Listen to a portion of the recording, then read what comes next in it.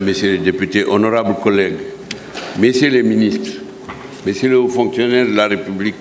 Mesdames, Messieurs les invités, je voudrais vous informer, conformément à l'article 7 du règlement intérieur,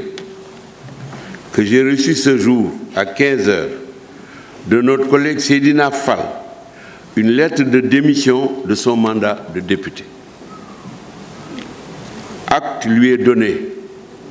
comme le dit le règlement intérieur, par la plénière ici réunie, c'est toujours paragraphe alinéa 3 du règlement intérieur,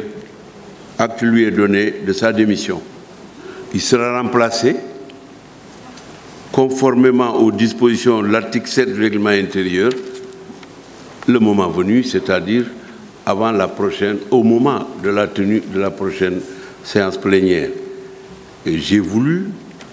en informer les membres du bureau, ensuite en informer tous les députés pour respecter la procédure que requiert la morale et les relations humaines que nous devons gérer. Donc j'annonce officiellement que la démission du député Sédina Fall a été reçue,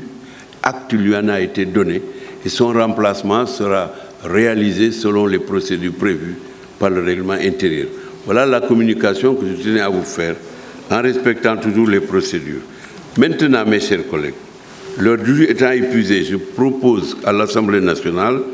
de lever la séance et de reprendre nos travaux le mercredi 27 décembre 2019 à 9h sur les considérations générales du projet de loi de finances,